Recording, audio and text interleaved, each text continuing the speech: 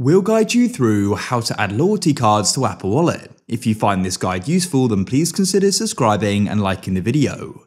Having your loyalty cards in the Apple Wallet is super convenient, as you don't need to have all your loyalty cards. You can just go and double tap your power button or open it up and go and scan them.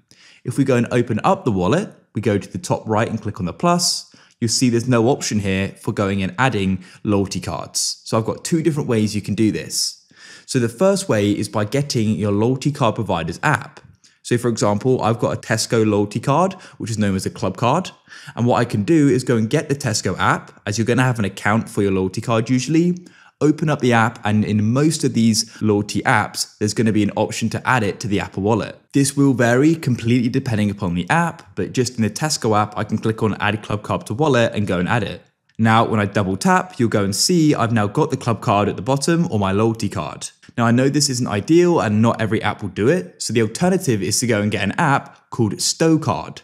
Download it and you can go and open it up. Come to cards in the bottom left and you can click on the plus and go and find the card you want to go and add. So, for example, I had an AA1, you can then go and scan it.